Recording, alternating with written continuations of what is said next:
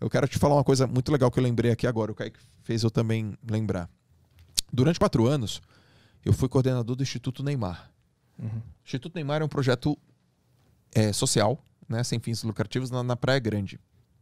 Então é o seguinte, em poucas palavras, crianças pobres e carentes numa área vulnerável na, na periferia de um bairro chamado Jardim Glória, na Praia Grande, e que saem de lá e vêm fazer atividade educacional, artística, cultural e esportiva no Instituto. Um puta projeto, velho. Eu tenho muita relação com o Neymar, com a família Neymar. Em 2014 eles me convidam, vem ser meu coordenador geral. Fiquei até 2018. E lá também tem todo o envolvimento familiar. Tem todas as questões de saúde. É um projeto maravilhoso. 2.400 crianças passam por lá, estão lá. Já foi atendida mais de 10 mil crianças lá. E eu lembro de uma cena, cara. Uma cena. Na verdade, eu vou te lembrar de três cenas.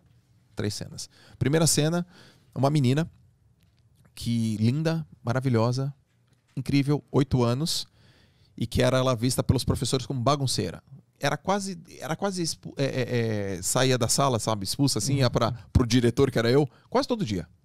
Só que todo dia ela tava lá, cara. Todo dia ela ia pro instituto. E ela era uma menina que tinha assim uns oito irmãos, que o pai tava preso, a mãe tinha problema seríssimo com droga, a casa tinha 15 pessoas e todo dia ela tava lá, tinha oito anos, cara. Oito anos. Oito anos. Todo dia ela tava lá. E todo dia ela causava. Todo dia o professor reclamava dela. E todo dia ela bagunçava. E todo dia espuleta. Todo dia, cara. Todo dia ela, ia, ela tinha uns negócios. Chamava, chamava família, chamava isso, chamava aquilo. E um dia, ela tinha um cabelo comprido até a cintura. Um dia eu tô, eu tô andando assim na, na piscina e aí vem uma criança e gruda na minha perna e fala assim: Oi, Joel! Oi, tio Joel! Eu falo: E aí, cara? Vamos chamar essa menina, eu não vou dar o nome dela, vamos, vamos chamar ela de Maria. Eu falo: Oi, cara! Ela é a Maria, Joel. Ela tava com a cabeça raspada, Arthur. Hum. Total. Total. Máquina Zero. Eu olhei. Falei, caracas, velho. Só que ela tava de batom e de brinco. Ali eu entendi uma coisa. Eu falei, uma menina de 8 para 9 anos. Aí eu perguntei, o que aconteceu? Minha mãe chegou drogada e raspou minha cabeça. Minha mãe tava loucaça e raspou minha cabeça. E jogou água quente em mim. Cara. Eu falei, caracas, velho. Olha, olha a cena, olha a cena. Olha o que eu vi, a minha cena. Minha mãe ficou louca, jogou, raspou minha cabeça e jogou uma água quente em mim. Só que ela tava de batom e brinco. Eu me apeguei naquilo.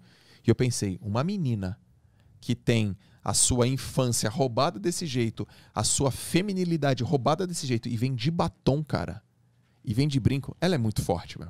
Uhum. Essa menina é muito forte. Não é possível, cara. Essa menina é muito forte. Eu tinha acabado de ler o livro O Homem Mais Inteligente do Mundo, do Augusto Cury, que conta a história de Maria a mãe de Jesus que era forte, mentalmente, emocionalmente forte. Aquilo me voltou à cabeça. Eu reuni os professores e falei: aconteceu isso com a Maria. A gente tem que incentivar, a gente tem que estar do lado dela. E olha a cena, vamos fazer ela nem perceber. Fala que tá calor, que o cabelo tá assim, que tá maravilhoso. Porque no futuro, essa menina pode estar dando uma palestra, pode estar dando uma aula. E ela falou assim: quando eu tinha 9 anos, minha mãe raspou minha cabeça. Mas eu me encontrei, eu me emociono, cara. Eu tive um professor que me orientou. E é por isso que eu tô aqui, falando para vocês. Não desistam dos sonhos de vocês. Meu cabelo cresceu, mas minha honra se manteve.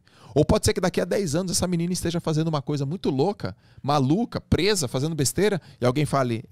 E aí, o que você tá fazendo? É, meu, porque com 9 anos minha mãe raspou minha cabeça, mas você tá achando o quê? Uhum. Eu falei, nós somos um agente interveniente, cara, aqui no meio. Essa foi a primeira. Pobre, criança pobre. A segunda foi um molequinho que falou assim: Eu quero ser astronauta sério, de óculos. Vamos chamar ele de Marcelo. Oito anos também. Falou, sério, falou, quero ser astronauta. E ficou, ficou sério assim. Eu falei, então tu vai ser, moleque. Ele fez assim. Hum. Aí eu cheguei pros professores e falei, por favor, incentivem. Por favor. Não, não é a gente que vai falar que ele não vai ser. Aqui não. Porque o moleque de oito anos. Isso é essência, entendeu, cara? Isso é essência. Uma menina de 9 anos que sorri e bota o batom isso é essência. É um moleque de 8 anos que fala, eu quero ser astronauta. E teve uma outra que foi maravilhosa. Um dia chega uma professora e fala assim, Joel, é, eu posso falar, né, velho? Você, tá, você liberou. Claro, claro, vai. Joel, é, você tem que vir aqui na sala, aula de espanhol. O que, que foi? não sei quem, jogaram uma borracha na minha cabeça e tal, tal, tal, uma bagunça aqui na sala. Aí eu já cheguei. Você é super objetivo. Tinha uma molecadinha assim, ó. Quem jogou a borracha, levanta. Aí levantou uma menina. Mais alguém? Aí a professora, ô, vamos chamar ele de Paulo. Ô, Paulo, você não vai falar nada? Aí ele. O que, que foi? Paulo também estava no meio. Eu falei, então Paulo e Paula. Paulo e Paula venham. Mais alguém? Não, professor. Deixa, beleza, professora, daqui a pouco, obrigado, desculpa, e daqui a pouco eu volto. Aí botei os moleques. 12 anos cada um. 12.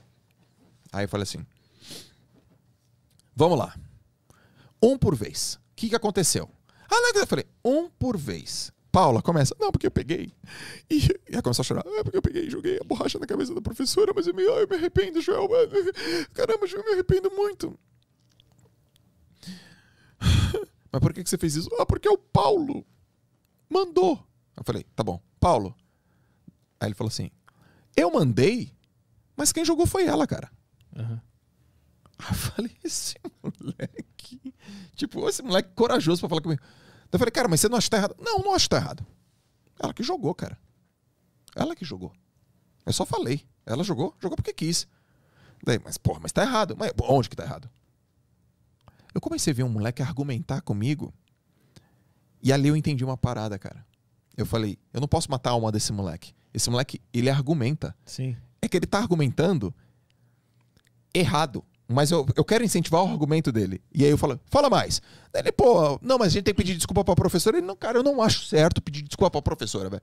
Pô, porque, cara, e aí eu via no moleque um negócio que eu achei, assim, não é para jogar borracha na professora, óbvio. Sim, mas canalizado no lugar errado. Exato, velho. Uhum. Tava canalizado no lugar errado. E aí eu peguei e tal, e aí, aí, aí eu trouxe ele para mim e falei, cara, deixa eu te contar uma coisa. Quantos anos você tem, Paulo? 12. Pô, na tua idade e tal. Eu, quando tinha 12 anos, abaixei, conversei com ele. E ele era visto como um moleque meio arteiro, que, não, que todo mundo tinha raiva. Um moleque fechou comigo, me cumprimentava e tal. Eu pego o telefone e ligo pra mãe do Paulo. Falou, ô, dona Paulo, mãe do Paulo, tem como a senhora vir aqui? Ah, de novo, não acredito. Não acredito que eu vou de novo. Eu não aguento mais. E aí? Falei, a senhora vem falar comigo, sou coordenador. Aí, não, não dá mais. Aí a mulher chegou no outro dia, cara, brava, puta da vida. Ah, não aguento mais, eu vou tirar o Paulo daqui, porque é sempre reclamação. Calma, espera. Bom, primeira coisa, aconteceu isso aqui. Isso aqui é uma borracha que aconteceu, a gente não aceita isso, mas tá tudo resolvido. Deixa eu entender, deixa a senhora entender que aconteceu esse negócio tá errado aqui. Agora, a segunda coisa é o seguinte: o filho da senhora, ele é bom. Ele é filósofo. Ela, como assim bom? O filho da senhora é bom. Porque ele estava de frente para mim, que sou autoridade aqui, e ele argumentou comigo. E no argumento dele, ele foi confiante. Eu quero dizer uma coisa: ele argumentou no lugar errado, mas a gente não pode matar o argumento dele. Eu quero dizer que eu vou acompanhar mais de perto seu filho. Porque imagina esse moleque sendo advogado. Imagina esse moleque sendo um líder. Esse, esse, esse moleque sendo um professor. Esse moleque sendo um político. Se a gente canalizar esse moleque agora. Ele tem 12, pô. Uhum. Ele tem 12, cara. Se a gente canalizar esse moleque agora, com valores, com princípios, com orientação, esse moleque pode ser. Isso é incrível, cara. Uhum. E não vai ser eu que vou matar a alma do moleque desse. Uhum. Então, esses três momentos, para mim, mostram o exemplo da essência que eu aprendi no Instituto Neymar com três crianças, cara. Uhum. Que, eu, que eu acredito que isso demonstra muito cedo.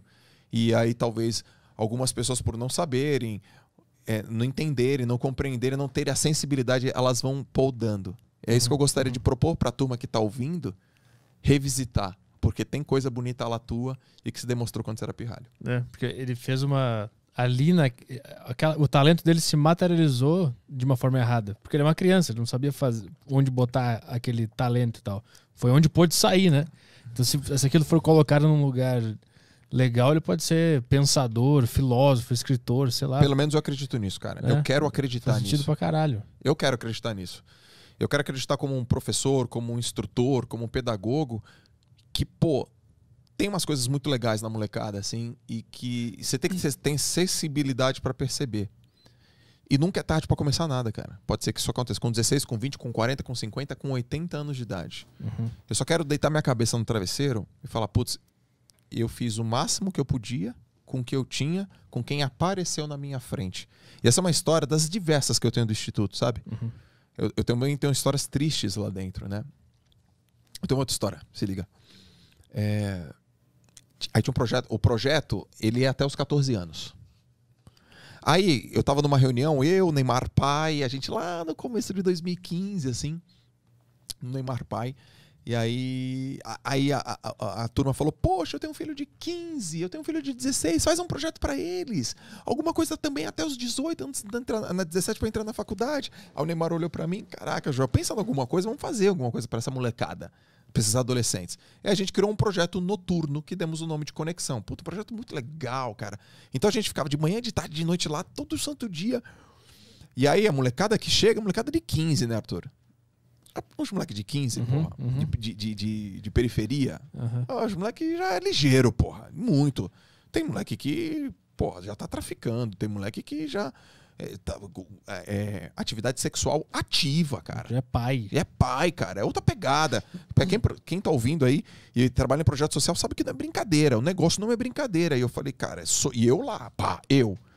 E aí eu usei minha experiência de, 15, de 12 anos trabalhando com atletas dessa faixa etária. Eu falei, eu entendo essa faixa etária. Agora eu só tenho que entender essa faixa etária dentro desse contexto. Esse é meu desafio. Uhum. E os caras me respeitavam muito. E aí, galera, eu, eu, eu, eu não, eu não brigava com os caras, eu era brother. E aí, beleza? Como é que você tá? Pô, bacana. E você, menina? Não, o que, que você foi? Chegou atrasado por quê? Não, não sei, escola. Não, mas vamos cá, vamos conversar. Vem cá. Eu, eu trazia os caras pra perto, esse era o meu objetivo. E entender a molecada. Eu queria eles ali. Não queria esses moleques traficando, não queria fazendo besteira. Senão você perde um menino ali. E aí teve um dia que eu tava falando uma coisa, cara. E tal, tal, tal, tal, tal. E, e aí uns três moleques começaram a rir. Eu falei, ô, tô falando.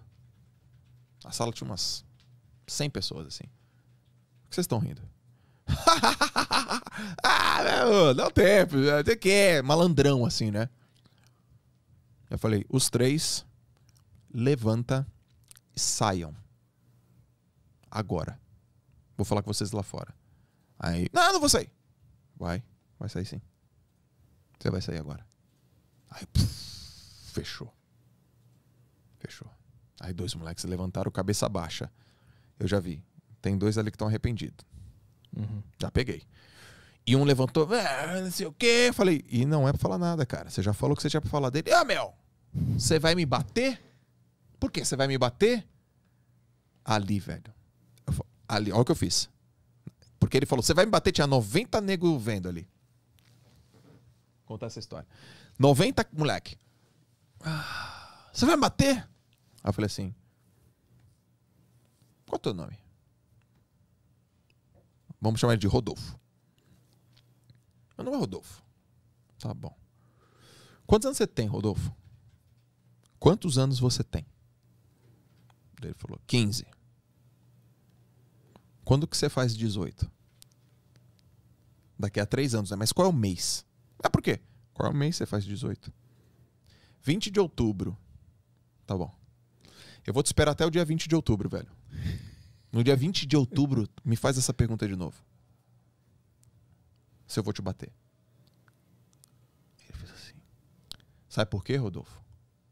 Porque tu fala isso porque tu é menor de idade. Deve ser assim que tu fala com a tua professora, né? Na escola, né? É, a professora vai me bater? Porque tu fica se escondendo atrás que você é menor de idade, né? Não é? Tudo bem. Quando você fizer 18, mas eu vou te esperar, cara. Eu vou te esperar daqui a três anos. Me faz essa pergunta de novo. Beleza? Caracas, velho. Azedou. Agora vai lá fora que eu vou falar com você. Porque você deve fazer isso com o teu professor, né? Se você faz isso aqui, imagina uma professora na escola. Se você fala assim comigo, com um homem, imagina com uma professora, com uma mulher. Mas eu vou te falar uma coisa, Rodolfo. Daqui a três anos eu te espero, mano. Uhum. E eu vou estar pronto. Cara, o cara saiu. Lá fora, ele já estava arrependido. Aí eu catei. Aí eu trouxe. Falei, pô, Rodolfo, você acha o quê, meu irmão? Deixa eu te falar uma coisa. Eu sou coordenador do instituto. Tu me encara desse jeito na frente dos caras. Tu acha que eu vou regar pra você, mano? Ele, não, porra, Joel. Pô, eu sei. eu- eu- desculpa, eu fui na onda. Lógico que eu te desculpo, mano. É lógico que eu te desculpo. Eu tô aqui pra te desculpar. Eu não quero ver você na rua. Você tá louco. Mas você não pode fazer isso. Aí começa, o cara, entendeu? Porra, cara, não faz isso com o teu, teu pai, não faz isso com o teu professor. Eu tô- aqui sou eu, sou, sou um professor, cara. Mas lá fora, mas você fala um troço desse, torto.